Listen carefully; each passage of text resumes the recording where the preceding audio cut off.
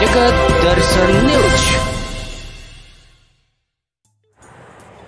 चार दिन पूर्व माझी थाना क्षेत्र के दक्षिण टोला ठाकुरबाड़ी से चोरी गई अष्टधातु की कीमती मूर्ति।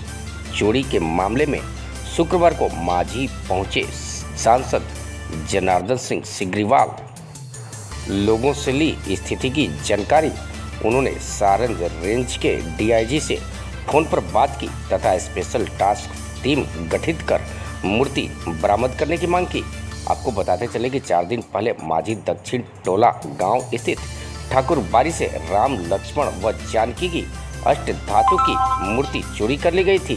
सूचना के पश्चात थाना अध्यक्ष अशोक कुमार दास गुत्ती सुलझाने का प्रयास कर रहे हैं, लेकिन अभी तक गुत्ती सुलझ नहीं पाई है। हालाँकि थाना अध्यक्ष द्वारा कई संदिग्ध लोगों को हिरासत में लेकर पूछताछ भी की जा रही है, लेकिन अभी तक सफलता नहीं मिल पाई है।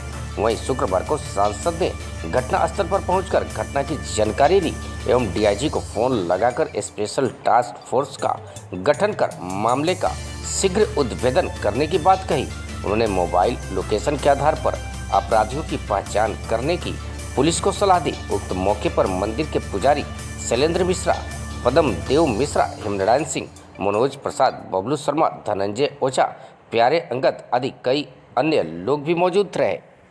कोई सही कदम उठा करके उस मूर्ति को मैंने बरामद किया जाए, इस स्थिति में कार्रवाई नहीं हो पाई है।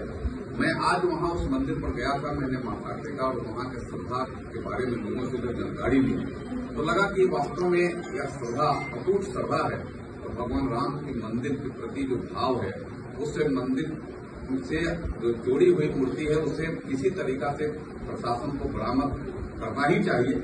और मैंने यहीं से डीआई से बात किया डीआईजी ने स्वयं उन्होंने कहा और मैंने भी आग्रह किया कि आप इसके लिए अलग एक टीम स्थापित करिए और टीम को लगा करके सिर्फ़ थाने पर मत छोड़िए टीम उस मूर्ति को पकड़ने और बरामद करने में, अपराधियों को पकड़ने में अपने आप कार्रवाई शुरू करे।